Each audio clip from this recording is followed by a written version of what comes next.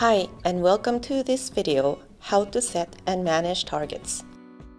Targets allow you to set goals for those key sales activities that you know will lead to more sales, such as the number of calls or meetings your sales reps should be making on a daily or weekly basis. There are two ways to create targets. At the top right of KPI which you would like to set a target, click the Action menu and select Set Targets for this KPI. You can also click Plus Target and New Target where you can select the KPI to set a target.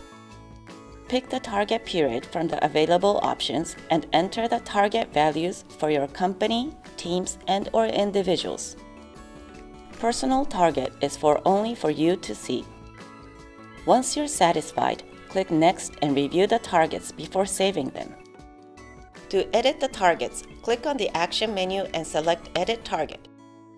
You can also delete multiple targets at once by deleting the numbers in the screen. Make the changes and click Save. Once targets have been set, Zoho Motivator provides personalized scorecards to help everyone reach the targets that were set for them. To see your targets, at the navigation bar on top, click Targets and Scorecard. In the scorecard, a small white line indicates today's goal showing where you should be today.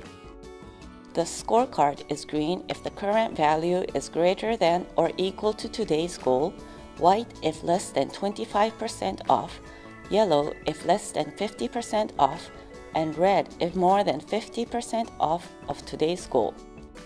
When you are not on pace to reach your goal, your scorecard will also indicate what needs to be done to get back on pace. Click on any target for a detailed view.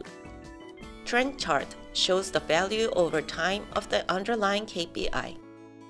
Comparison charts let you compare performance across teams and individuals. For more information on Zoho Motivator, visit Zoho Motivator's website.